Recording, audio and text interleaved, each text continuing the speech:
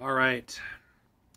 For those of you who don't know, usually when I t- take off my glasses in my videos, it's usually something very serious. Now, I haven't shown my face on camera in a video in a long time. I've done it in one of my recent streams, but that was briefly. That's because this couldn't wait. My other comrades have done it. Jason Unruh has done it. Red Pagan has done, done it. Comrade Net has done it. And I should be doing it too. It'd be irresponsible.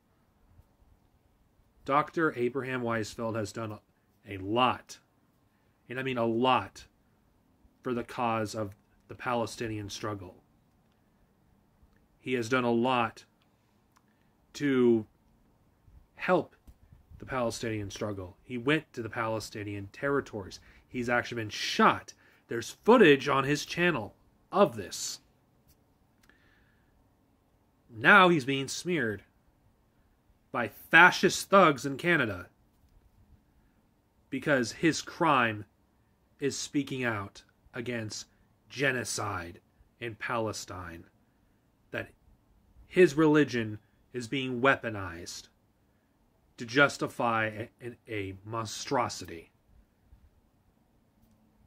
If you claim to be an anti imperialist, if you claim to support the struggles of colonized people, of people fighting for their liberation and self determination, you should show solidarity to him. He's done this all of his life, fought against fascists. I show my solidarity because he deserves respect and he's a comrade who has fought the good fight all of his adult life. Anybody that doesn't support him by doing the bare minimum of showing solidarity is my enemy. Dr. Abraham Weizfeld, solidarity comrade, and down with Zionism.